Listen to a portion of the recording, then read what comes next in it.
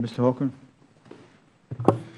Well, I want to thank you so much. I, think, I want to thank all the members for allowing me to join you today and have just a moment. But I especially want to thank uh, Commission Co-Chairman Frank Wolf and Jim McGovern for convening this important hearing I want to just take a moment to say thank you, especially to Co-Chairman Wolf, who has been uh, truly a, a, mentor and hero uh, on so many issues. I worked up here 25 years ago, and even then uh, looked up to you greatly and uh, see you as someone that uh, would love to have a little bit of following in your footsteps of the work that you've done here. So thank you.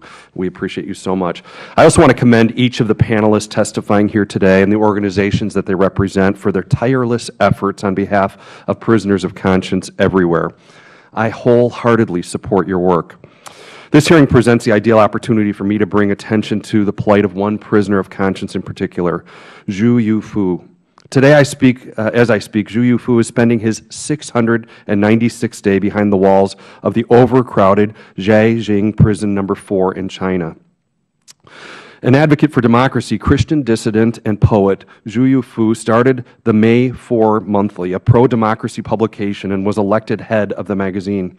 Subsequently, subsequently, he was often summoned by authorities, and his house was frequently searched.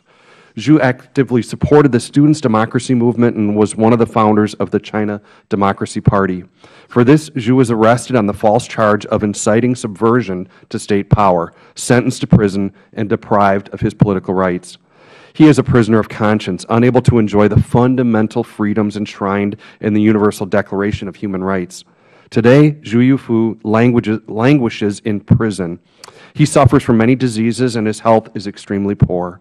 Prison authorities refuse to let him seek treatment or medication.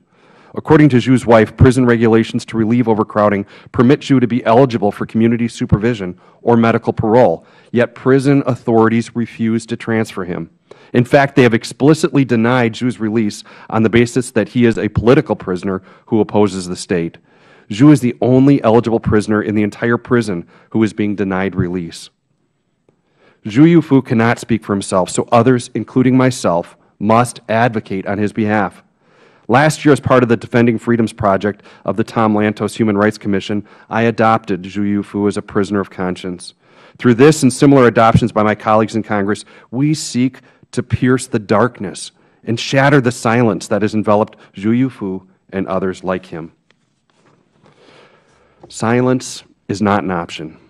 Silence means Zhu Yufu likely will remain in prison and the government of China will elude accountability for its deplorable human rights violations. Thank you so much for this opportunity to shine a light on the plight of Zhu Yufu and for the efforts of everyone here who are raising their voices on behalf of prisoners of conscience. Thank you, Co-Chairman. Uh, thank you, Mr. Hultgren. I appreciate it.